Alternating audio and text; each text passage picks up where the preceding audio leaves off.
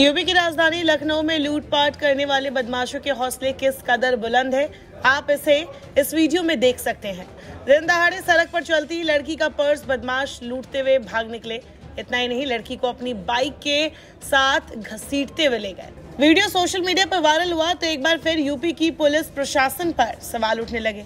दरअसल वीडियो में दिख रही लड़की खुद एक इंस्पेक्टर की बेटी है। ऐसे में सोशल मीडिया पर जिस किसी ने ये वीडियो देखा, हैरान रह गया।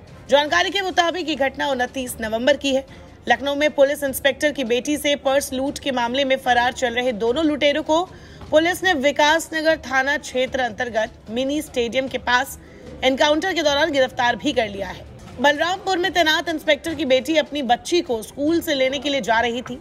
तभी पैदल जाते हुए बाइक सवार दो बदमाश बैग लूट ले गए थे। इस दौरान कई मीटर तक महिला घसीटती हुई चली गई थी। जिसके चलते उसके हाथ पैर पर गंभीर चोटें भी आई थी।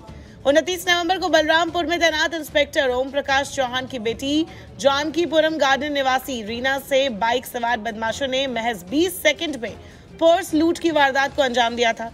पूरी घटना बिना नंबर की बाइक से की गई थी। हालाँकि वारदात एक घर में लगे सीसीटीवी कैमरे में कैद हुई।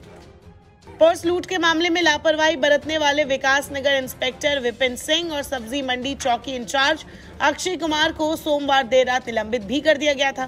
फ़िलहाल पुलिस दोनों के हिरासत में लेने के बाद माल बरामदगी कराने के लिए घटनास्थल ले गई थी। इस दौरान आरोपियों ने वहाँ छिपाकर रखे गए तमंचे से फायर झोंक दिया। पुलिस ने भी जवाब में फायरिंग कर दी। खुद को फंसता देख आरोपियों ने बाद में सरेंडर कर दिया।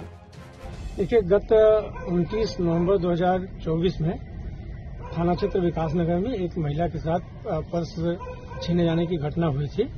इस घटना के अनावरण के लिए हमारी विकास नगर की टीम और उसके साथ साथ जो है, उत्तरी जोन की क्राइम टीम को लगाया गया था। साथ में और टीमें गठित की गई थी, जिसमें सीसीटीवी फुटेज को खंगाला गया। साथ ही मुखबिरान से जानकारी ली गई, जिसके क्रम में आज दिनांक तीन दिसंबर 2024 को यह सूचना मिली कि जो इस घटना में शामिल लोग हैं।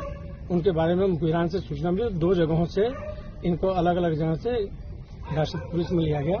साथ ही माल बरामदगी का प्रयास किया गया, जिसके क्रम में जहाँ आप खड़े हैं, यहाँ पर माल छुपाने का इनके द्वारा बताया गया था। जहाँ पर घटना के अनावरण है, जो माल का रिकवरी करने का प्रयास किया गया। उसी समय छुपा कर रखे हुए एक तमंचे से इस, एक अभियुक्त के द्वारा उसमें फायरिंग की गई है।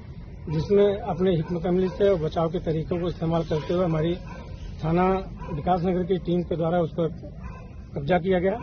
और दो अभियुक्त जो हैं, जिनके नाम है स्नेहिल श्रीवास्तव, साथ ही अपूर्व उर्फ़ अतुल श्रीवास्तव, इनको गिरफ़्तार किया गया है।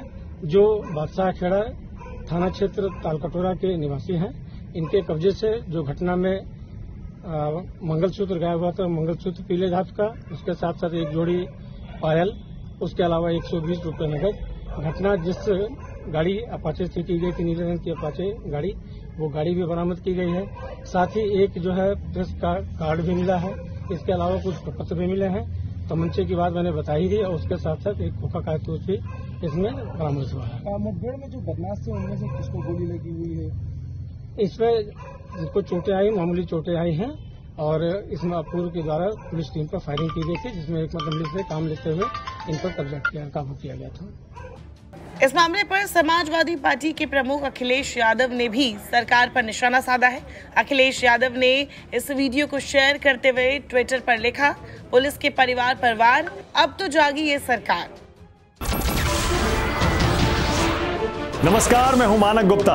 अगर आपको हमारा ये वीडियो पसंद आया हो तो इसे लाइक और शेयर ज़रूर करें। और हाँ हमें सब्सक्राइब और फॉलो करना ना भूलें, ताकि आप देश और दुनिया की कोई खबर मिस ना करें। तो जुड़े रहिए हमारे साथ और देखते रहिए न्यूज़ 24